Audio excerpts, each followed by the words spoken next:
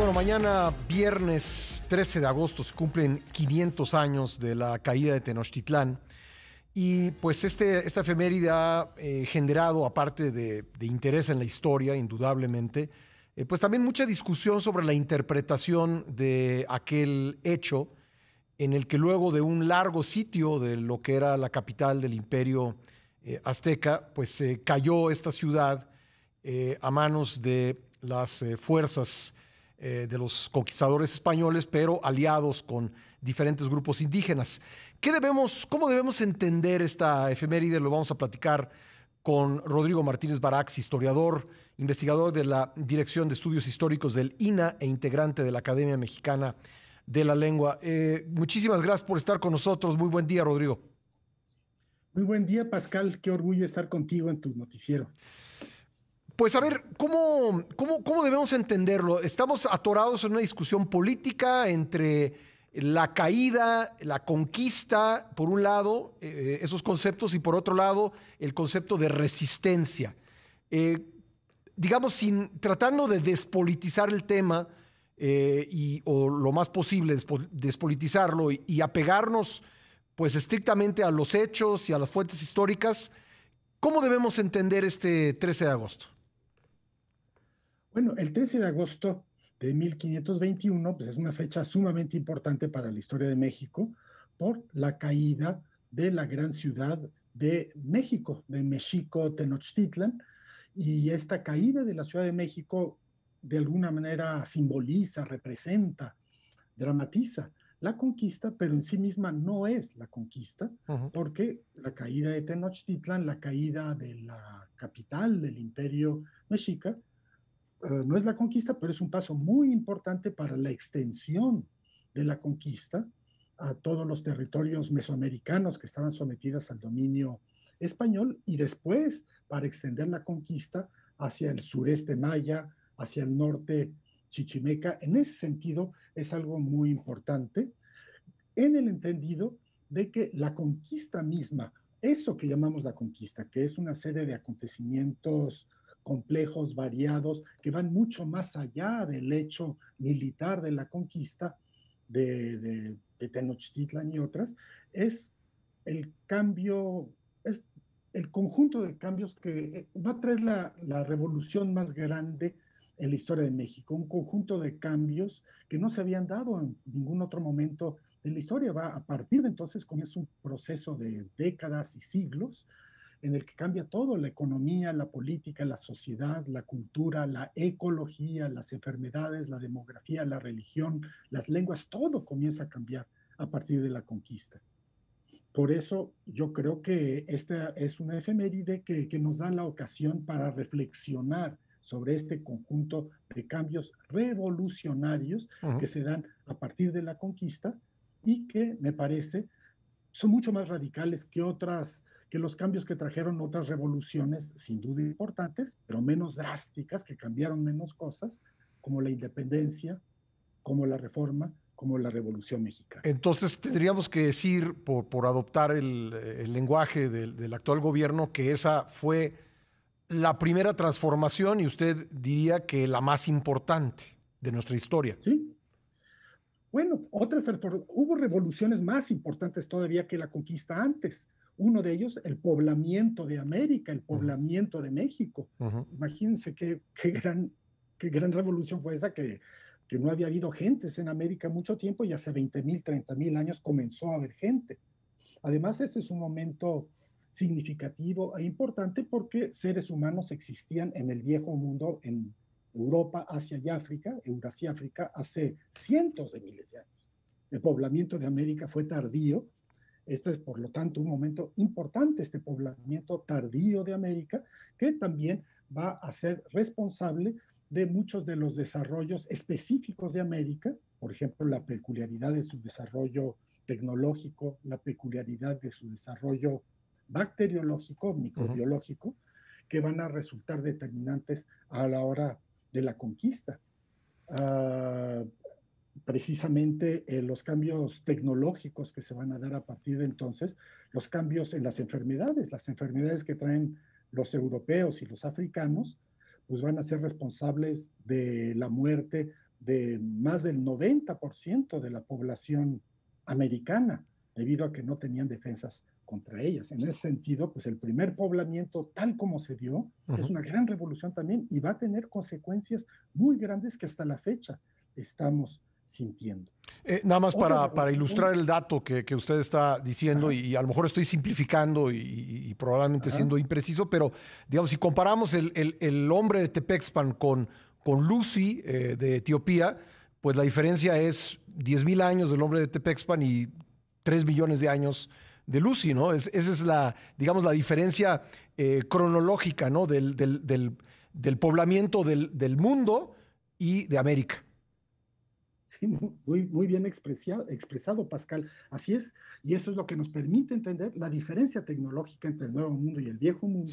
Esta diferencia tecnológica va a ser fundamental para el desenlace de la conquista va a ser uno de los elementos importantes para el desenlace de la conquista, la superioridad militar. No, el único, ¿verdad? Porque, digamos, eh, eh, eh, por un lado sí tenían armas superiores, pero también tuvo Hernán Cortés y, junto con sus hombres una estrategia pues de alianzas que, que, también provocó la caída, ¿no?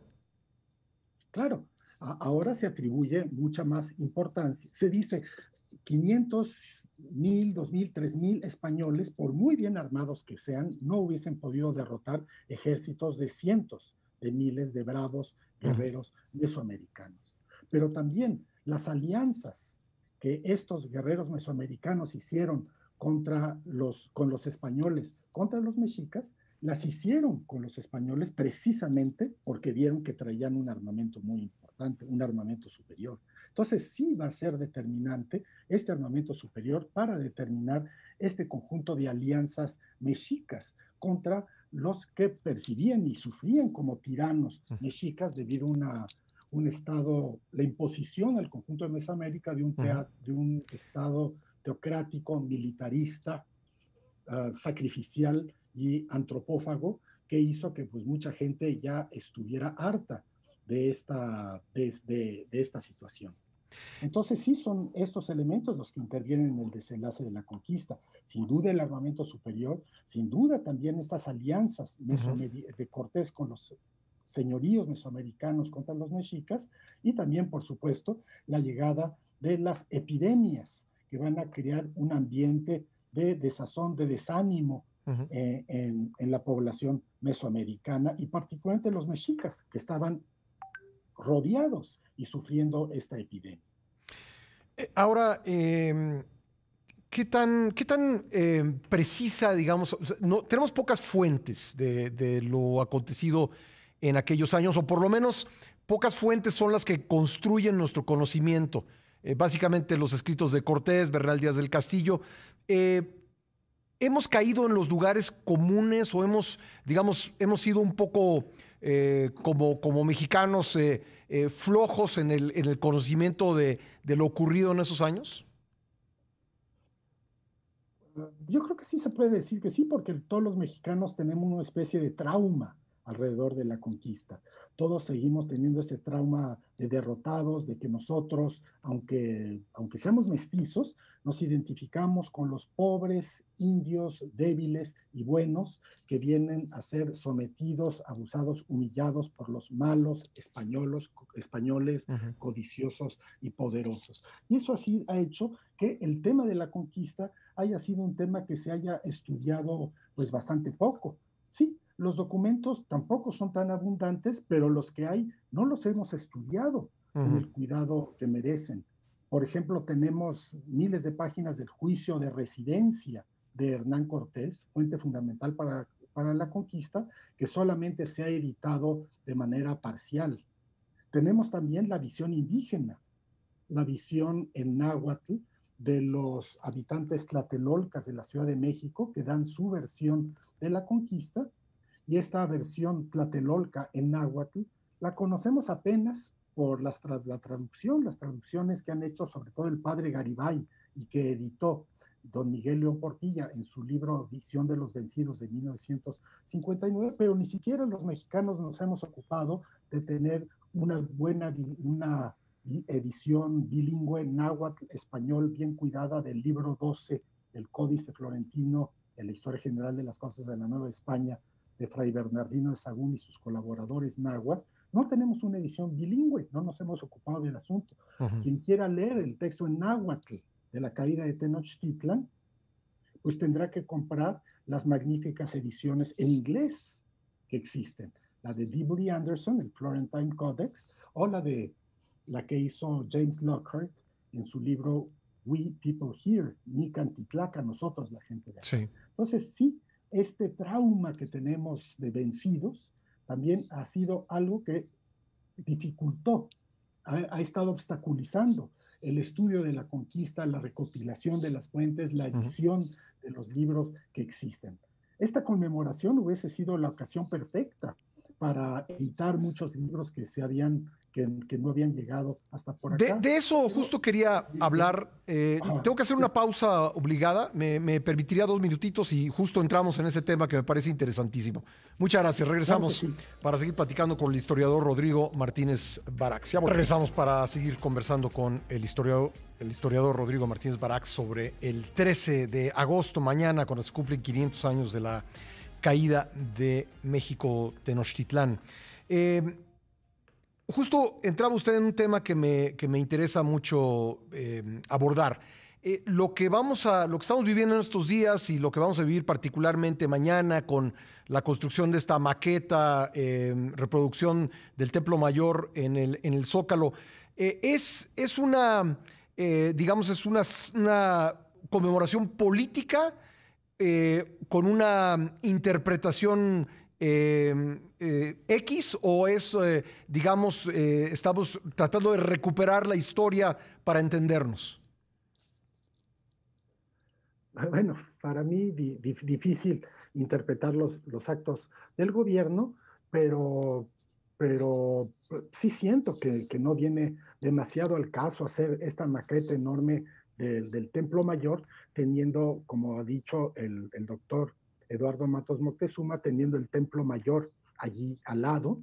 Podemos tener el Templo Mayor de veras, por supuesto, ya no con la altura que tuvo, tuvo originalmente, porque fue destruido por, por, los españoles, pero podemos ver sus fases constructivas, nos podemos meter al museo y ver una maqueta más chica del Museo del Templo Mayor. Y también en, el Museo del Templo Mayor, una maqueta más chiquita del Templo Mayor mismo del Gran Teocalli. Pero también si nos asomamos por ahí, podemos ver el techo que se derrumbó debido a las granizadas que hubo y que ahora el INA, debido a las reducciones presupuestarias del gobierno, no tiene suficiente dinero para volver a instalar este, este techo que protegía partes del Templo Mayor y, y es un poco contradictorio de alguna manera sí se han hecho varias cosas para la conmemoración, pero que poco tienen que ver con una discusión informada y respetuosa de los acontecimientos de la conquista. Eh, e, esta, eh, yo creo que no es única de este gobierno, todos los gobiernos hacen reinterpretaciones eh, históricas con propósitos políticos, pero, pero ¿qué nos puede dejar pues una conmemoración de este tipo? Pues es una especie, la, conquista siempre ha sido vista desde puntos de vista muy opuestos. Obviamente que durante el periodo colonial, pues existió un punto de vista muy favorable a la conquista, que es el que fundó el dominio español en México. Después de la independencia, va a prevalecer el punto de vista liberal, que presenta como ilegítimo el periodo colonial, un periodo de ilegitimidad, que cancela un periodo legítimo de historia mexica que supuestamente sería un antecedente de la historia mexicana que se reanudaría a partir de 1821 y entonces prevalece esta noción liberal anti-hispanista, anticortesiana, contraria a la conquista y una concepción indigenista que por supuesto no es la de los indios, es la de los mestizos, es la de los mexicanos, criollos o mestizos que sostienen esta, esta interpretación. Al mismo tiempo que esta, esta interpretación liberal que se expresa en el siglo XIX va a continuar en el siglo XX con una historiografía PRI, en el siglo XX, después de la Revolución Mexicana, con una historiografía que se le podría llamar priista, de los indios buenos, los españoles malos, que es la que el gobierno actual está, está retomando un gobierno, pues esto siempre ha sido así, esto, la, los criollos que ensalzan a los indios del pasado y que desprecian en verdad a los indios, a los indios del presente. Esta politización pues no, no tiene mucho caso.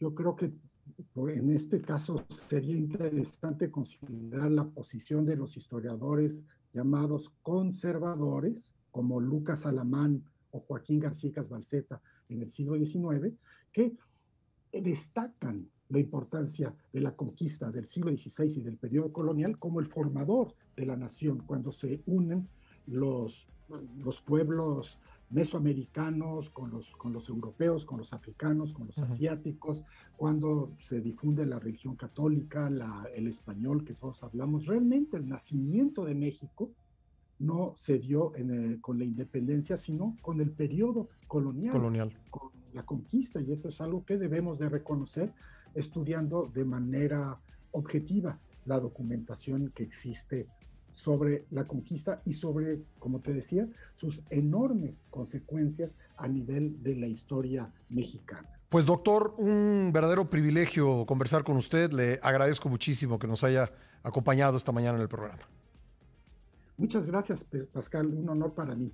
Gracias, muy amable. El doctor Rodrigo Martínez Barax, historiador, investigador de la Dirección de Estudios Históricos de Lina e integrante de la Academia Mexicana de la Lengua.